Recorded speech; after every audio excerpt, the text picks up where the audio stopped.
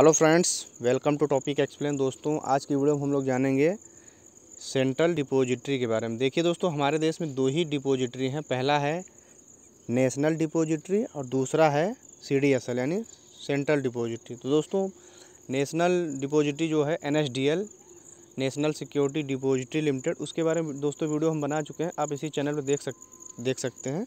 दोस्तों, आज की वीडियो हम लोग जानेंगे कि सीडीएसएल क्या है और क्या है सीडीएसएल के फ़ायदे। चलिए शुरुआत करते हैं। दोस्तों, सबसे पहले सीडीएसएल का फुल फॉर्म जान लेते हैं। दोस्तों सीडीएसएल का फुल फॉर्म होता है सेंट्रल डिपॉजिटरी सर्विसेज़ लिमिटेड देखिए दोस्तों सी डी की स्थापना फरवरी उन्नीस सौ निन्यानवे में हुई थी और इसको सेबी के द्वारा, यानी सेबी को security exchange board of India के द्वारा मैनेज किया जाता है। ठीक है, मान्यता प्राप्त है यानी उसके द्वारा।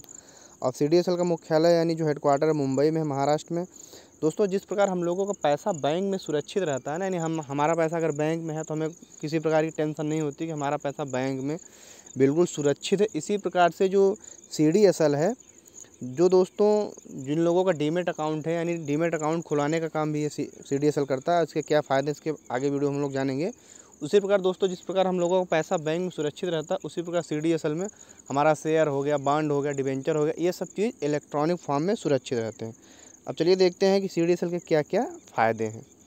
देखिए दोस्तों, पहला फ़ायदा यही है कि सी डी के द्वारा, दोस्तों सी डी का पूरा का पूरा काम एन के ही जैसा है। एन पहली सिक्योरिटी है और ये सी डी दूसरा सिक्योरिटी डिपॉजिटरी है।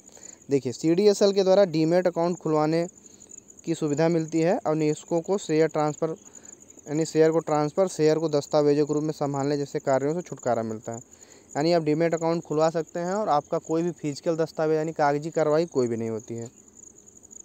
सी डी एस एल में निवेशकों के द्वारा शेयर मार्केट में की गई हर ट्रेडिंग ऑनलाइन उपलब्ध है। यानी आप अपना जो भी आप निवेश करना चाहते हैं, आप पूरी दुनिया से कहीं से भी इंटरनेट के माध्यम से ट्रेडिंग कर सकते हैं।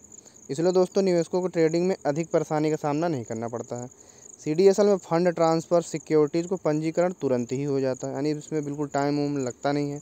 पहले क्या होता था, इलेक्ट्रॉनिक डिपोजिटरी आने से पहले इस काम में चार से पाँच महीने का टाइम लगता था। यानी आपका अकाउंट ओपन होता था, फिर आपको कागज़ी कार्रवाई काफ़ी होता था इससे काफ़ी परेशानी होती थी निवेशकों को।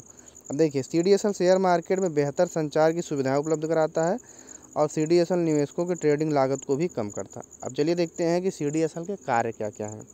देखिए सीडीएसएल का तो पहला कार्य यही है कि जो निवेशक हैं इनको डीमेट अकाउंट ओपन करवाना। सबसे बड़ी बात ये डीमेट डीमेट अकाउंट ओपन करवाती है और जो स्टॉक ब्रोकर होते हैं उनके माध्यम से भी लोग डीमेट अकाउंट ओपन करते हैं।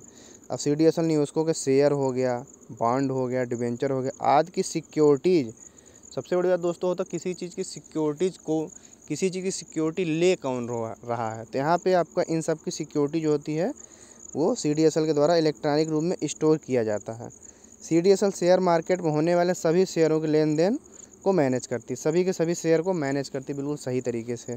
सी डी एस एल अपने ग्राहकों के सभी सिक्योरिटीज़ का रिकॉर्ड रखती है, वो भी इलेक्ट्रॉनिक फॉर्म में, बिना किसी कागज़ी कार्रवाई के।